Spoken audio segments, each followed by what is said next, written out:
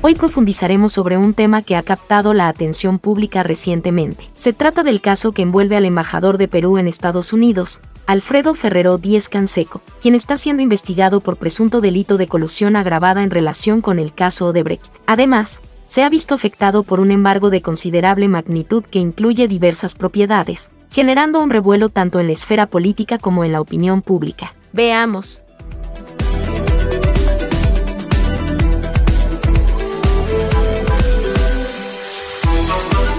Para entender la magnitud de esta situación, es necesario remontarnos a los eventos que desencadenaron estas investigaciones. Ferrero Díez Canseco, quien asumió recientemente el cargo de embajador peruano en Estados Unidos, enfrenta acusaciones relacionadas con su presunta participación en favorecer a la empresa Odebrecht durante su desempeño como miembro del Consejo Directivo de Proinversión, específicamente en el proceso de concesión del proyecto Eje Multimodal de Amazonas Norte.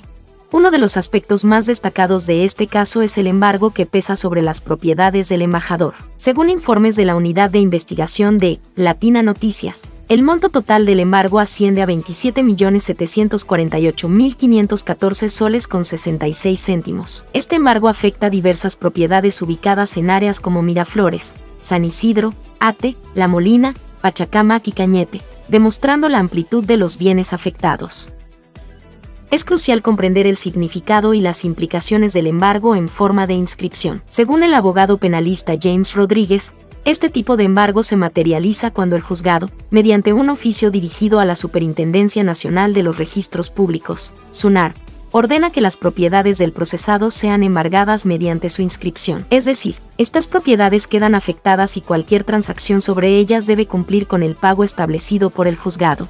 El propósito fundamental del embargo es asegurar el pago de la reparación civil en caso de que el procesado sea encontrado responsable. Esta medida busca garantizar que, en caso de una sentencia condenatoria, los fondos necesarios para resarcir los daños causados estén disponibles. Es importante destacar que el embargo en sí mismo no implica necesariamente una culpabilidad definitiva, sino que es parte del proceso judicial para garantizar la integridad de los fondos.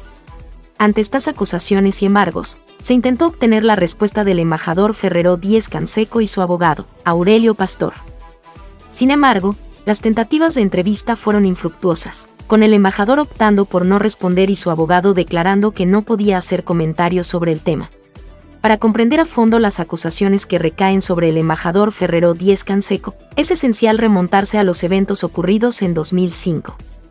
En aquel año, Proinversión, la agencia estatal encargada de promover la inversión privada en el Perú, adjudicó dos tramos de la carretera IRSA Norte a dos compañías que en ese momento enfrentaban procesos legales pendientes, lo que las inhabilitaba para contratar con el Estado.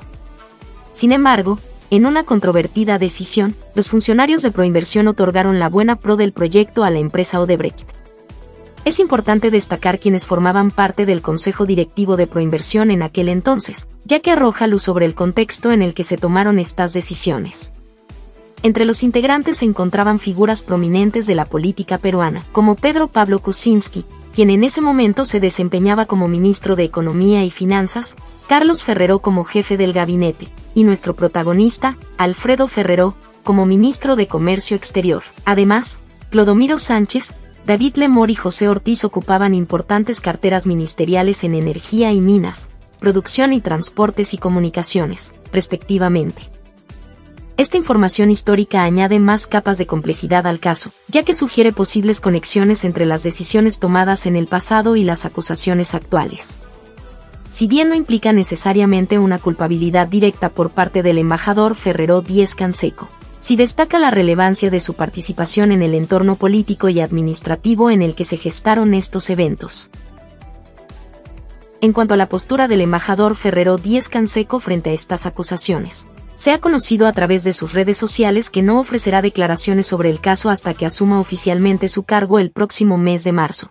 Sin embargo, ha adelantado que, desde su nuevo puesto, dará especial énfasis a fortalecer las relaciones políticas y promover las inversiones, especialmente en lo que respecta al comercio y al turismo. Esta declaración sugiere una estrategia de enfocarse en su labor diplomática y económica, dejando de lado las controversias legales que rodean su persona.